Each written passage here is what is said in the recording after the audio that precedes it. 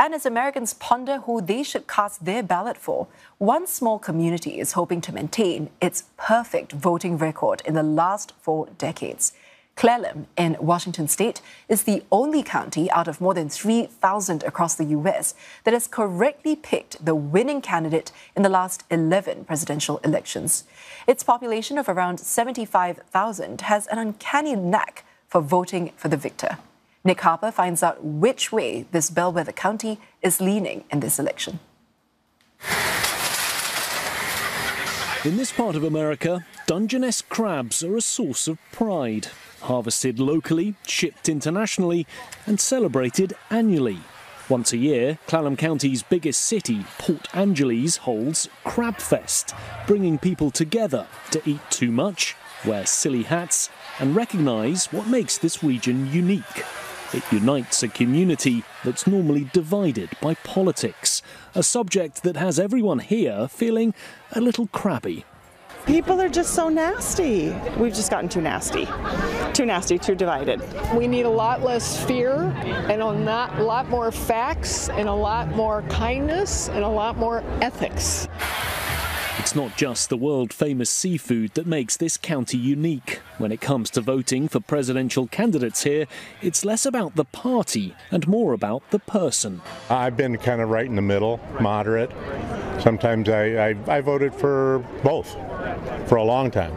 David Turner has switched sides from Democrats to Republicans and back again multiple times. Vote for the person that's uh, bright enough to run the country and wants to spend the time. If anyone can work out the winner of this upcoming election, it's the people of Clallam County. They seem to have a recipe for success, the secret sauce when it comes to picking the winner. Clallam County, in America's top left hand corner, somehow feels at the very centre of US politics. It's the crystal ball capital, the only county to correctly pick the presidential winner in the last 11 elections. Since 1980, it's voted for the Republican candidate six times, the Democrat five. Anybody ready for a change? At this meeting, support for one candidate is rock solid. 20 kilometres outside of Port Angeles, local Republicans are discussing the main issues for them in this election. The border is number one. I mean, there are millions and millions of undocumented people in our country. Some are terrorists, some are criminals that are trafficking children.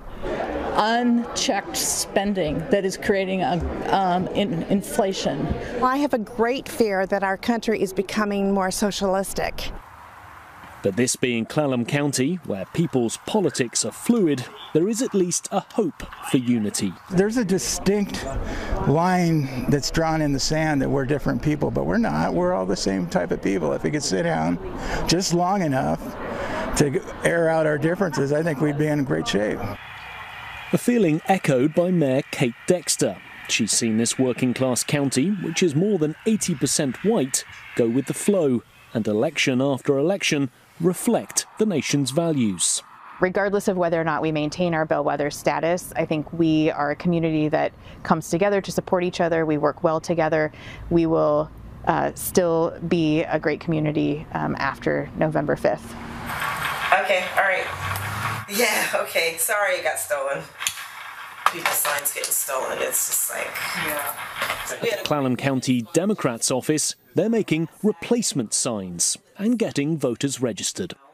A lot of people have come in and said, I've been a Republican all my life, but I just can't vote that way this time. And I don't think these are people who are publicly announcing to the world that they're voting differently, but we have seen that encouragement.